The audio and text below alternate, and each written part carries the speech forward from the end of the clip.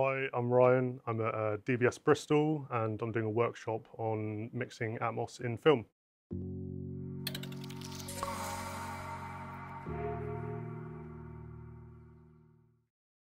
Reverb is like one of the most important tools in terms of mixing and um, it just it, it's the thing which helps like make everything sound realistic um, so yeah definitely like if you if you want to get into mixing definitely get into your reverbs and um, in this we're using uh, LX Relab LX480 um, which is like for me in terms of like interior stuff it's it's great um, uh, it's stereo. There's a lot of like surround reverbs now, um, but I tend to like I, I quite like just working in stereo, and I like having them uh, I have them as objects. Um, so, you know, if you're somewhere uh, is a nice big reverberant room, you can move it into the heights and get that sense of, you know, um, so yeah, um, yeah.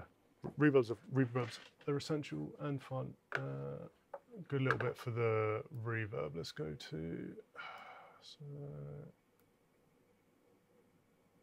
this scene here is pretty good. So they're in like a big I told you, speak to Frankfurt, get it sorted.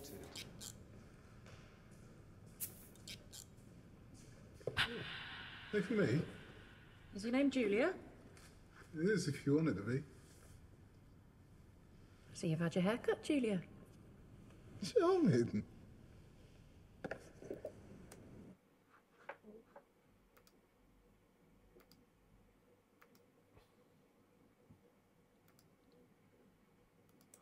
going to make this small so I can see what's going on. So in terms of like reverb here, um, mute all this off. Input.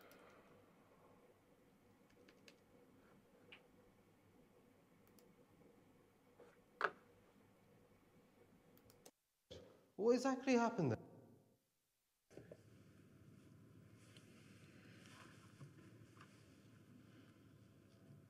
you here all day then? Do you like it? Like it? Does for the moment. It's been a long moment. Yourself? So that's without the verb? Oh. So we're going to bring the verb back in. So. What exactly happened then? No, no, you're kidding. You're kidding. I told you, speak to Frankfurt, get it sorted.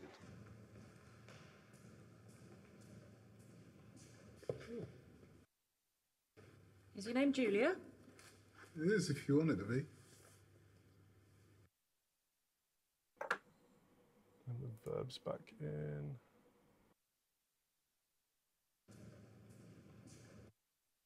Hey, for me? Is your name Julia? It is if you want it to be. So you've had your hair cut, Julia?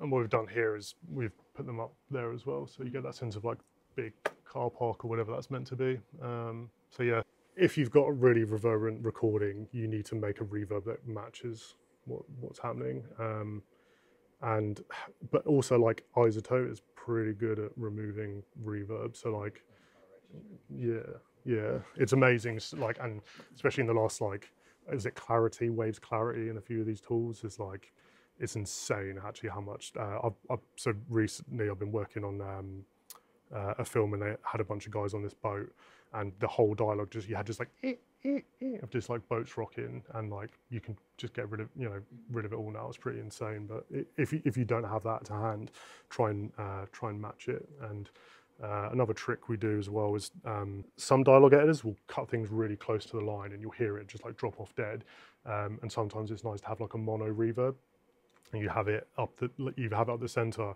or make a multi mono reverb um, so a trick I tend to do is like if you're working in 7.1, make a 7.1 multi-mono reverb. So whenever you pan your dialogue, it will trigger that that reverb so you can pan things around.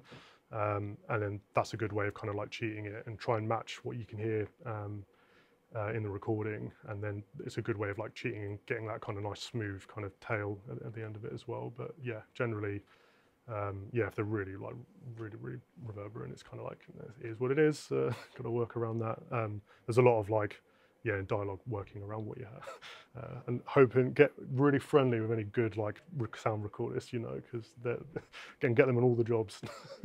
yeah, yeah. Um, I there, there are two verbs I mainly use. One is the LX480, which is yeah, like it's not convolution. The other one is uh, Altiverb.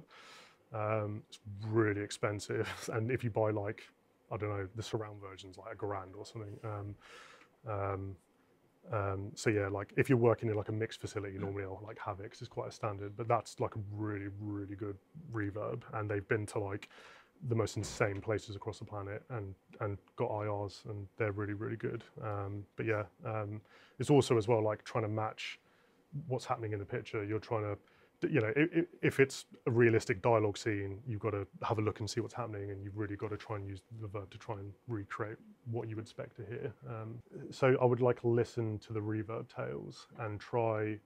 Um, if you've got like a dry bit of, of dialogue, put, basically play it through and try and get it, and you just got to like match it by ear. So, um, so as well in terms of uh, my my job with Pinewood, when I do localization mixing, sometimes I uh, create like a template. So say like a big animation or a TV show, sometimes we'll do like 40 languages that's mixed to this one show and they've all got to be consistent so we make like a template and everyone uses that everything from in terms of like the reverbs the radios when they're on you know trying to match that all by ear which is like yeah it's it's, it's um at the time you know you sit there for like several hours just like i've just been like listening to reverbs and surrounds but, um, um, but it's a good exercise and you know in terms of yeah it's like so in terms of the session i got there it's like listening to the stems so it's like you have to listen to the dry and wet sometimes in the stem. If you don't, if you're not sent the reverbs, you're just given a dialogue stem. So uh, I'll have my dialogue and I'll basically like A B. So on Dadman, you can you know basically set like on a button, so you can just go like the English mix, my mix, and you just have to listen and A B until it's like right that line matches. It sounds good. A lot, a lot of matching, listening, and and just you know, and it's good as like an experiment as well, just to try and um, um, train. You know, I think it's like really good training for your ears to get into that.